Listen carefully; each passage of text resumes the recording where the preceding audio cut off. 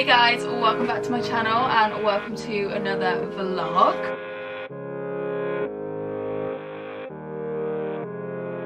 Today's vlog's gonna be a bit like a week in the life type type vlog. Got a few things on this week.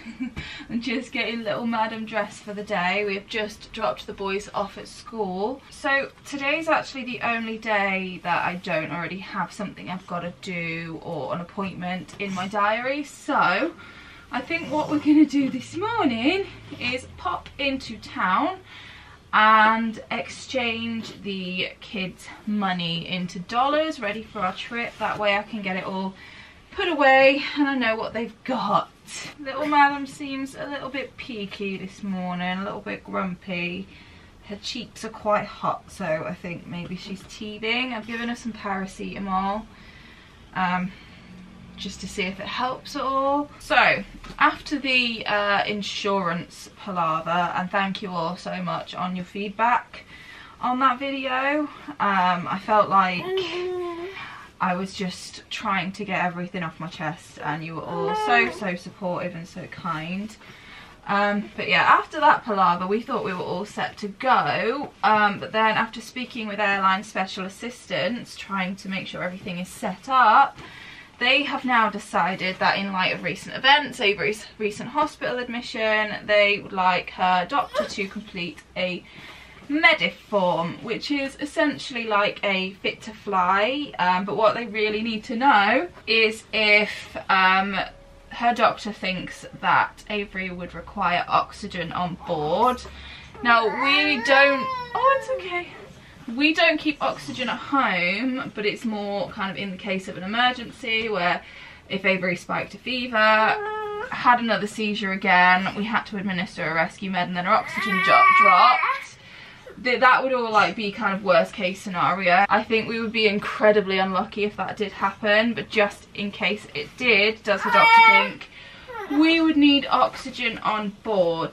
You know what doctors are like when it comes to paperwork, it takes ages, so I'm really hoping that gets done. It's supposed to get done today. Um, Josh is going to call and chase them up later if I don't get an email. Alongside that, I am still waiting. Sorry about this terrible lighting, by the way. It's awful. Um, I'm still waiting for um, a medical letter for Avery's midazolam and her tablet form of levodopa because a lot of her letters say the liquid form. That was her nurse that was supposed to be sorting that, but I've not heard from her in about a week which is a little bit frustrating. I have tried to chase her up, so Josh again is going to try and call her again today for me as well. I'm terrible with phone calls, I'm terrible with confrontation and feeling as though I'm bothering people. Josh on the other hand, he doesn't mind bothering people so he normally takes that job for me. Um, I mean don't get me wrong, I will nag and bother and bother until I'm blue in the face when it comes to Avery but um, it is nice to delegate the tasks that make me feel less comfortable. So Josh is doing that for me today. Hopefully we will have a plan in place by the end of the day.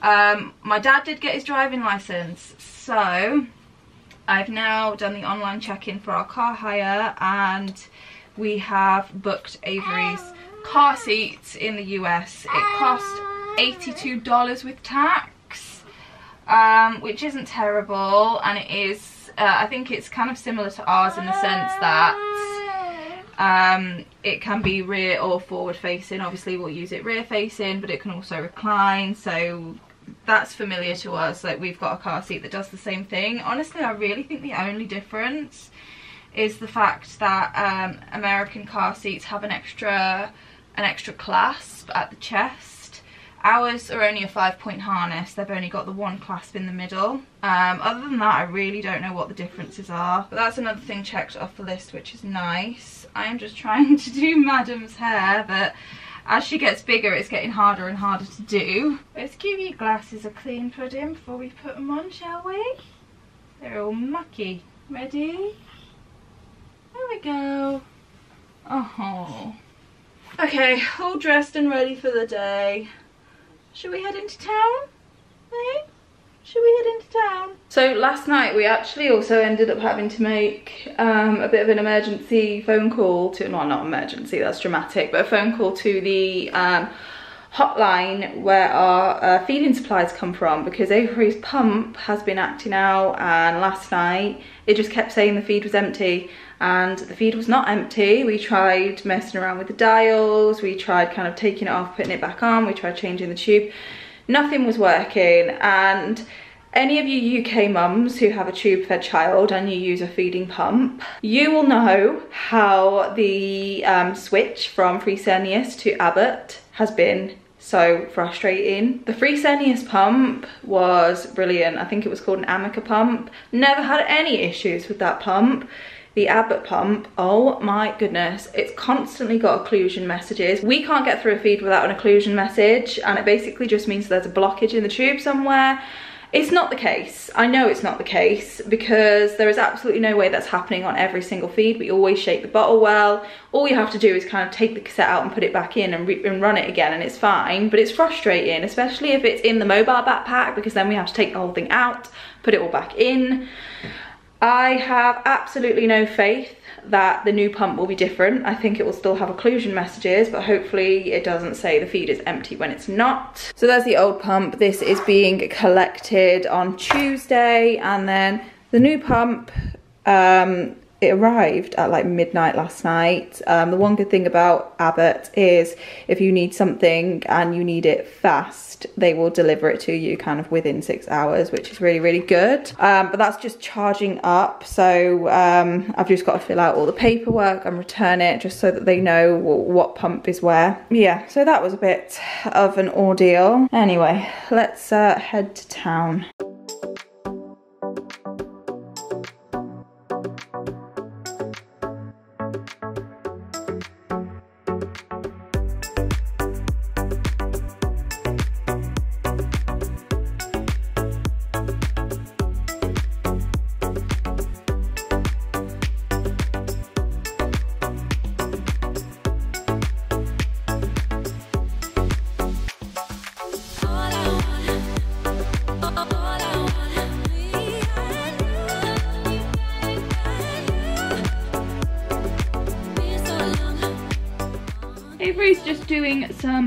Tummy time. We've been back quite a while now. To be honest, we were only out of the house for half an hour, which I'm glad of because Avery had already gotten grumpy by the time we got to the post office. So I did have to take her out of the pushchair when we were in there. Um, but all that's sorted.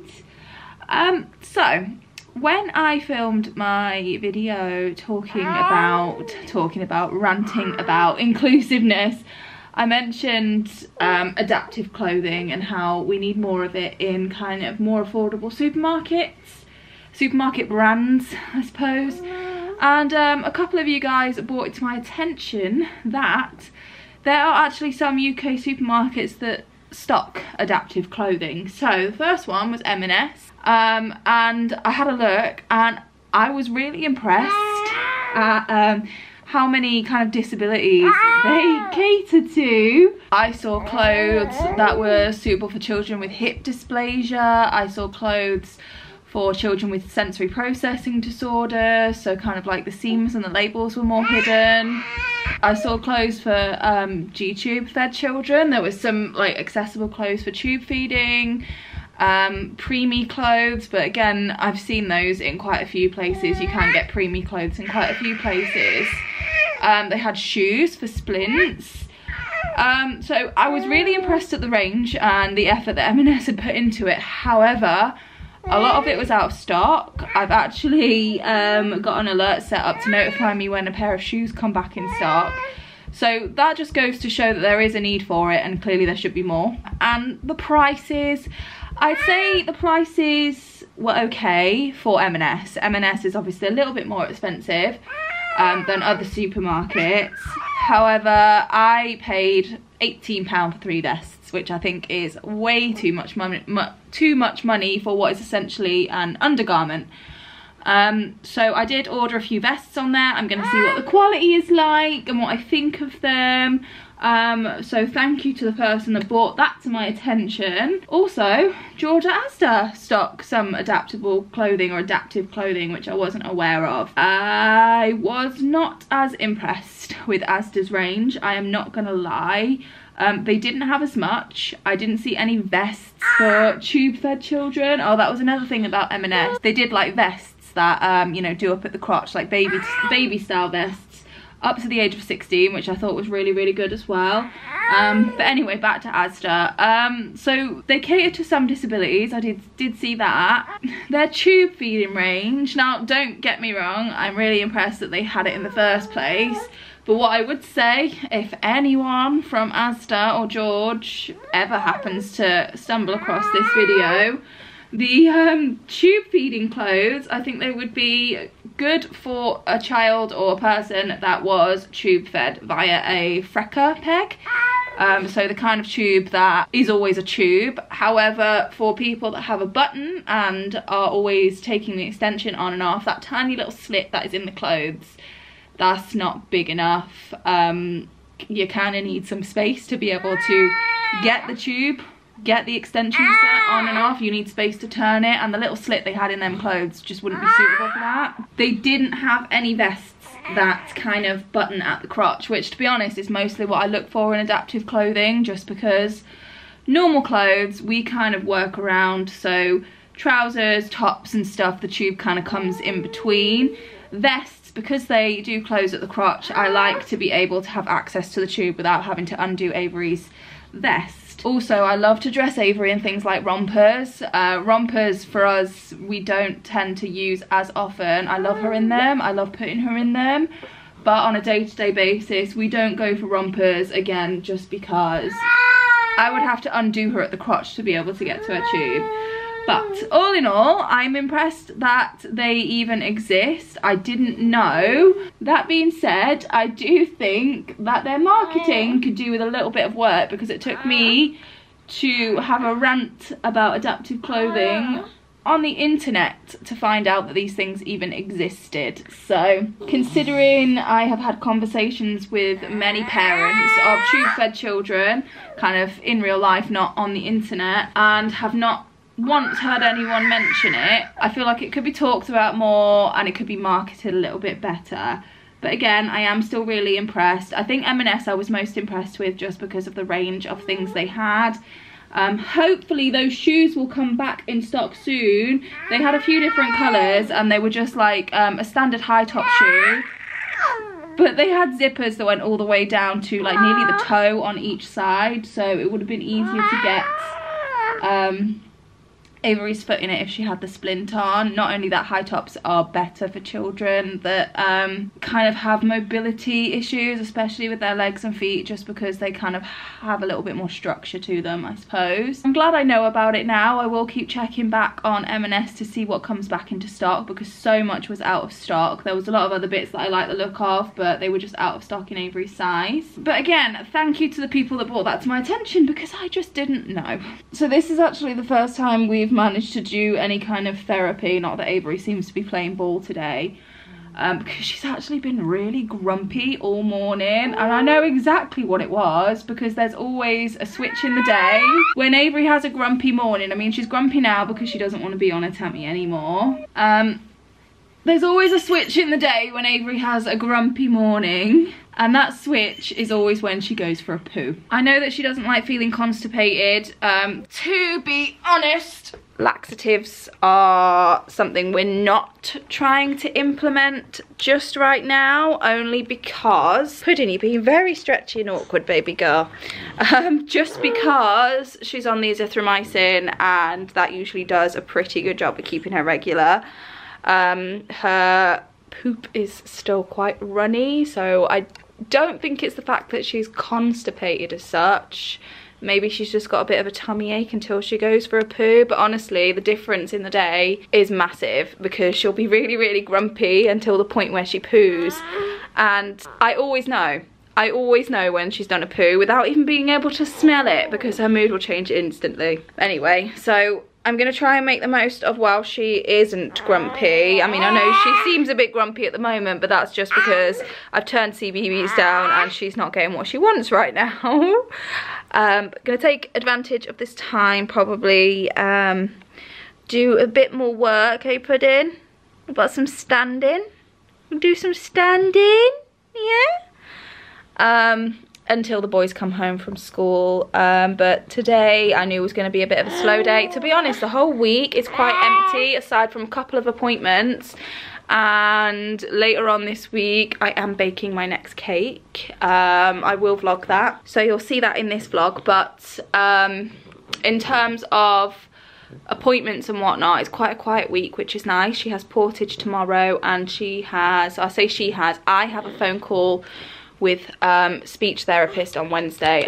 I will tell you more about that a little bit later on in this vlog as well. But for now, I think we're just going to see what Avery can tolerate. Morning guys, it is Wednesday. Um, didn't vlog yesterday.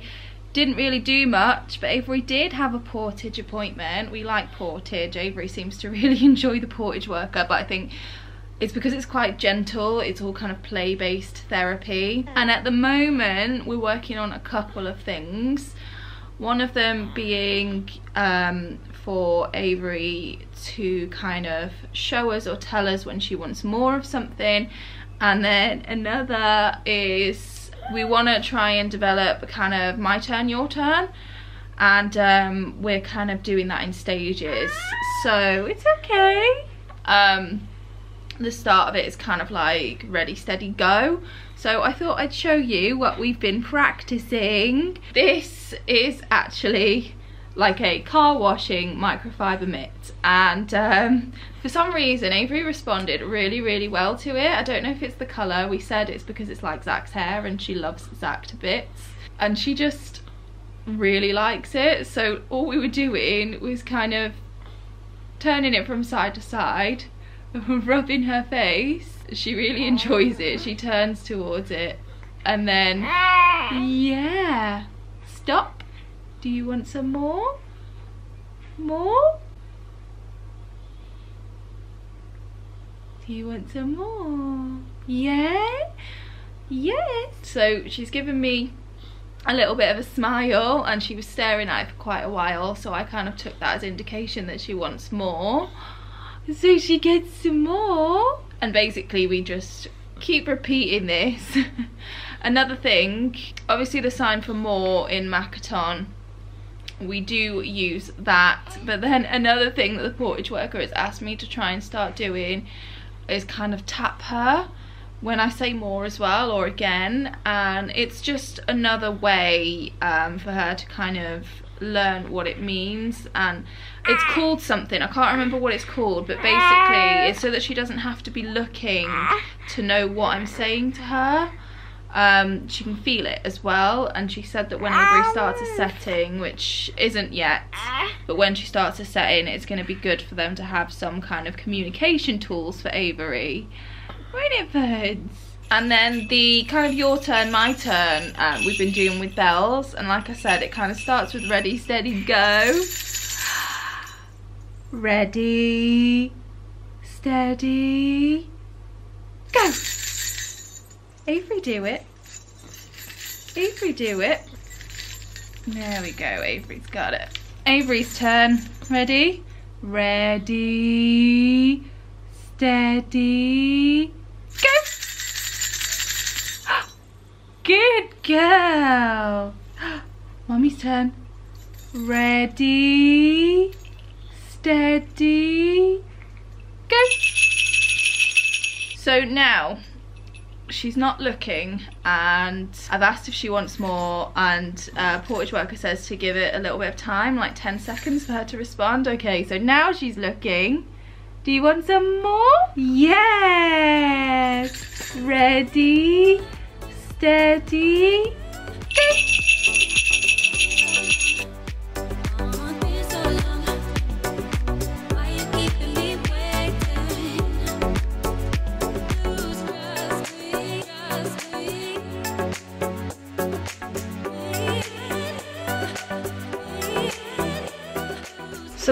really nice little activity that we can kind of work into Avery's daily therapies. It's nice and gentle. Avery doesn't have to move from her favourite spot to do it, which I think she enjoys.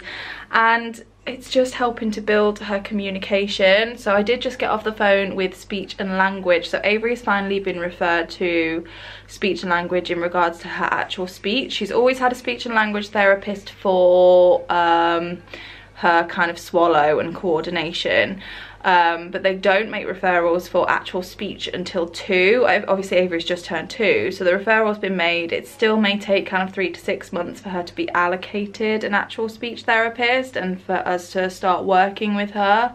But I think in terms of my goals, Avery's kind of speech and whatnot to start with is for Avery to be able to communicate basic needs. So at the moment she tells us when she's happy and excited and sad um, and we kind of guess on you know what could be wrong and it's a lot of trial and error. What would be really nice if Avery could find a way to communicate her basic needs if she's in pain if she's hungry um, if she wants more of something if she wants something to stop. Just really basic communication. I think that's going to be kind of the starting point so I'm looking forward to see what kind of ideas they have and how we can move forward with it. But like I said, it might still take a little bit of time. So my M&S parcel came yesterday with Avery's vests that I ordered. So I thought I'd show them to you, uh, let you know what the quality is like. So these were six pounds each and considering most supermarkets, you know, clothes are made with machines, they're usually made in bulk. Do I think that they were not made for anywhere near £6 each? Yes. Do I think they could have been sold much cheaper? Yes. But all in all, I'm actually really happy with the quality. So I bought two different styles. Um, this is the first style and I like it because the arms are free which means it's going to fit her for a bit longer I find with Avery um, the ones with the kind of envelope style arm, this is the bit that starts to get tightest soonest because obviously it's kind of tugging on here and it's tugging on her at the crotch. I feel like these are going to fit a bit longer and um, they've obviously got the button at the cross the crotch the same as um, normal baby vests but they've also got the poppers down the front which means we have nice easy access to her G-tube. And I like that there's going to be enough space here. We can undo as many buttons as we want. So if we're changing her um, tubey pad, if we are cleaning around the stoma site, or if we're putting the extension on and off, we've got enough space to do it in there. It's not just a tiny slit that, you know, the tube is meant to poke out of. So I bought that one in 12 to 18 months, and then I also bought it in the next size up in 18 to 24, because even though this looks absolutely massive, and it does, I mean, this would probably fit one of the boys, um, I find that once you've washed them and tumble dried them once, they shrink quite a bit. So I thought I'd get the next size up as well, just so that we have something when she starts to grow out of the smaller ones.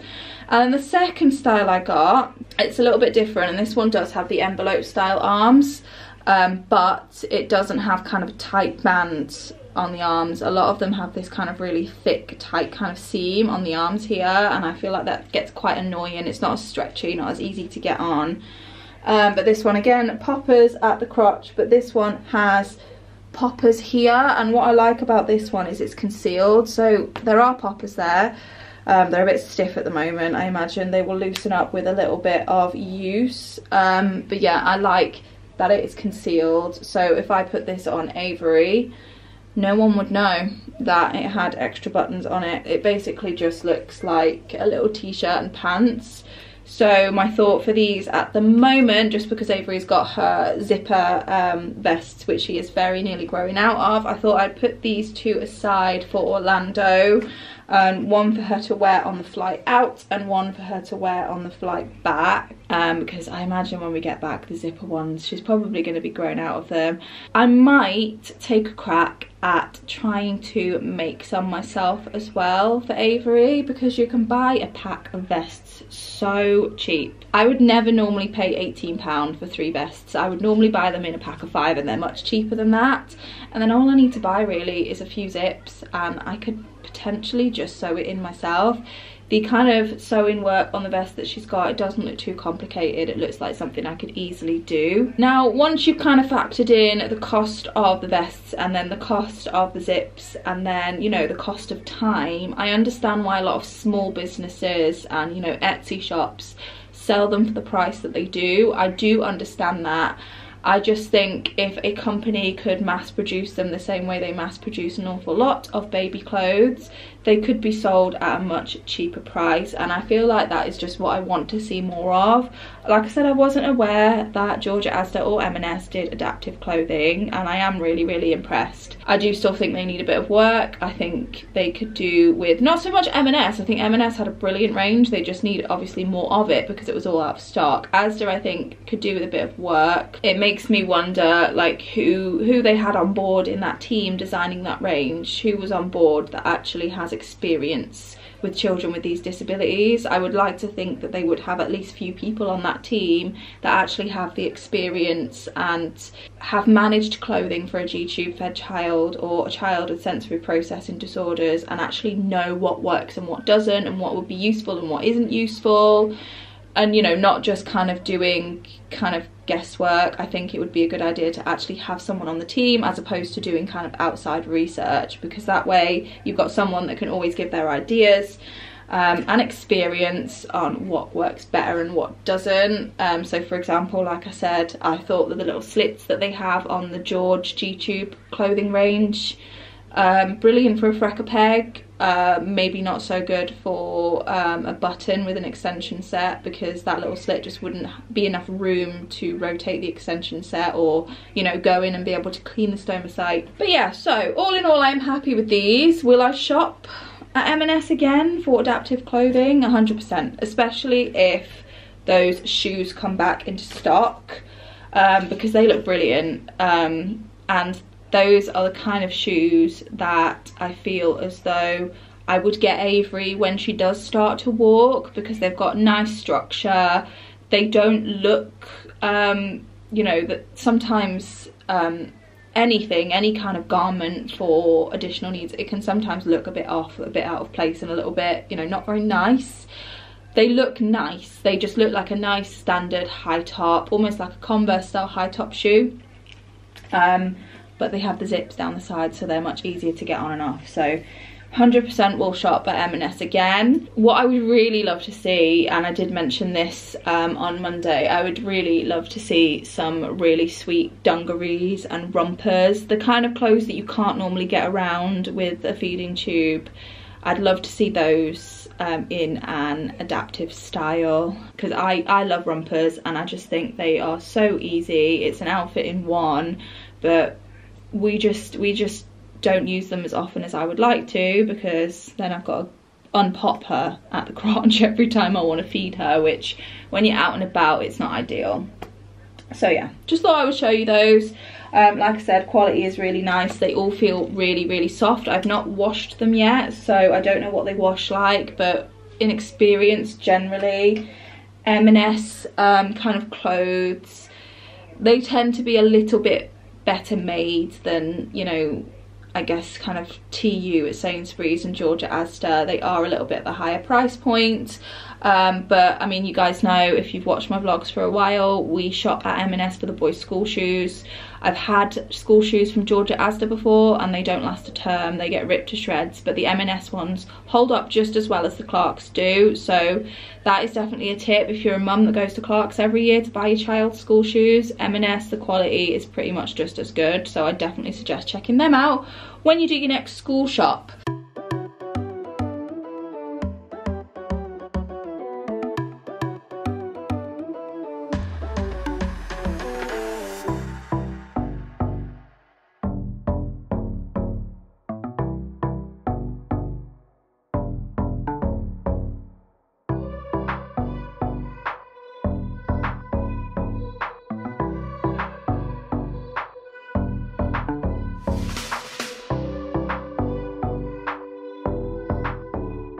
I am just doing a little bit of ironing quickly. Um, the reason why I'm ironing, because you guys know I do not iron on a uh, regular basis, is because this Saturday is my dad's 60th birthday celebration and he doesn't know anything about it. So it's a surprise that my mum and I have been organising.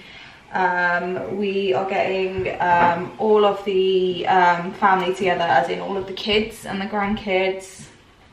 So all of my siblings. And uh, we're taking him to his favourite Indian food restaurant. I love Indian food, oh my goodness, I'm so excited for it. And yeah, he knows nothing about it. We're all gonna kind of just be there when he turns up and surprise him. That is why I am making a cake this week. I'm making his cake. I'm gonna start that tomorrow actually. Morning guys, it is Thursday and it is time to make this cake. I'm on a bit of a go slow today. My body is just not moving as fast as I want it to and that is because Avery was up at 4 a.m. So I was up at 4 a.m. I'm sorry about the lighting as well, by the way, guys. It's terrible, I know, and I really don't know how to fix it because I've got light in front of me and light behind me. Um, so yeah, I want to get this cake done and out of the way, and then I think I'm going to try and get Avery down for a nap, and to be honest, I think when she goes to sleep, I might try and have a bit of a sleep because I'm so, so tired. So I'm making a devil's food cake for my dad. This cake is a little bit more work than a normal sponge cake, but I tried out the recipe a few years ago and my dad tried it and ever since then it's been his favorite. So that's what I'm making for him. So I've done a little design on my digital notebook and written down the amount of ingredients, ingredients and whatnot that I need. So I'm gonna crack on. What I did remember to do this time was soften my butter in advance and also warm up the house a little bit. So I've got the heating on for a little bit and that is so that this cake actually mixes together properly because I don't want the same disaster that I had with Avery's cake. I do want to be mindful that this vlog is already over half an hour long um, so I don't want to be yapping too much. I am just gonna crack on and get this cake baked because tomorrow I've got to frost it because I need it nice and cold for when I take it on Saturday because it does have to travel in the car.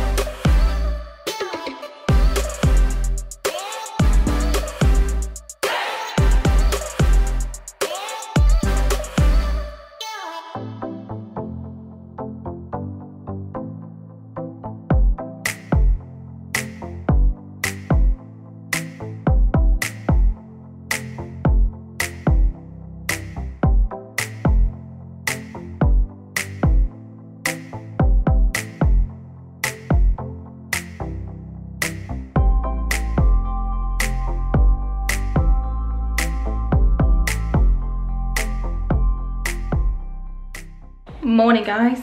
Um, so as you would have seen I started to cut my cakes I make the frosting this morning and I cut the bigger one and it's undercooked. So I've now had to put in a order on Waitrose on Deliveroo to get the ingredients here as soon as possible so I can remake those two layers. I'm stressed. My mum's going to be here soon. She would have bought the ingredients with her but I can get them quicker on Waitrose so it's a lot of money but I I'm running out of time because I've already made the frosting and that's gonna kind of not be as good if I leave it for too long. So A little bit stressed to say the least, so I'm gonna get everything ready, make sure I'm ready to make these cakes as soon as the ingredients get here. And then I guess I will catch up with you once the cakes are made.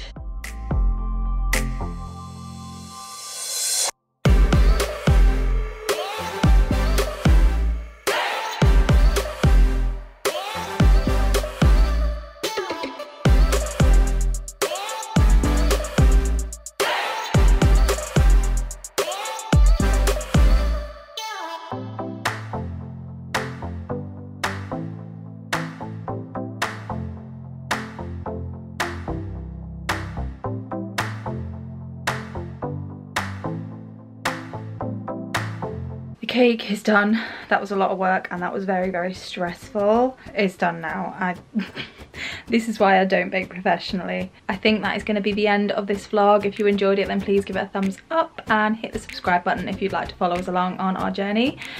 And I will see you guys in a few days with another video. Bye guys.